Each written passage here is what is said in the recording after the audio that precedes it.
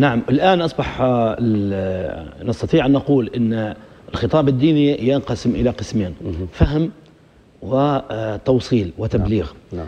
فطبعا تنبني المسألتين على بعضهما البعض لكن لكل حالة من الحالتين حالة الفهم وحالة التبليغ والتوصيل آه، شروطها وضوابطها نعم. آه، وإن كان بينهما ترابط كبير وبالتالي إذا قلنا بأن الخطاب الديني يحتاج إلى توصيل صحيح فهذا يعني أن يعاد النظر في آه، مناهج العلماء والمناهج المتعددة نعم. آه، حسب آه، ظروف الحال وحسب ما تقتضيه الأحوال بل أيضا حتى ما تقتضيه التغيرات في علوم البشرية من تصحيحات للجهود البشرية في فهم الأشياء نعم. نحن نعلم أن الشريعة عندما أنزلها الله سبحانه وتعالى أنزلها فيها تحمل الكثير من المرونة والسعة وتحميل أهل الذكر والعلماء لمسؤولية الاستنباط واستخراج الأحكام. نعم. والعلماء عندما يستخرجون هذه الأحكام تكون لهم إدراكات ومناهج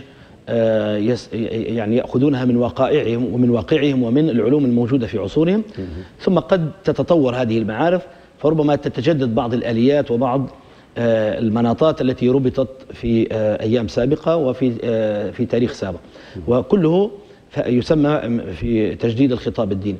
أيضا آه، فإذا نستطيع أن نقول أن التجديد آه، يقصد به تجديد في العلوم التي توصل الشريعة الإسلامية للغير وفي آه، أدوات ووسائل إيصال الشريعة الإسلامية لأن الوسائل تشمل مناهج الإيصال مثل المناهج الإعلامية والدعوية ومناهج التأليف والخطوات وما إلى ذلك هذه قد نعم. يشملها تجديد في المناهج وأيضا التجديد في بعض العلوم آه نعم. التي تكون مبنية على بعض المعاني الواقعية نعم. التجديد لا يطال آه الدين نفسه أو الوحي أو الخطاب الإلهي وإنما يتناول المعطيات الواقعية التي بنيت عليها بعض العلوم الموصلة للشريعة نعم. وهذا باب الذي دخل منه سوء الفهم سواء أو سوء سواء بقصد أو بدون قصد نعم. نعم. لإفساد الشريعة وجعل التجديد يطال مصادر الشريعة وهذا آه، باب لا يمكن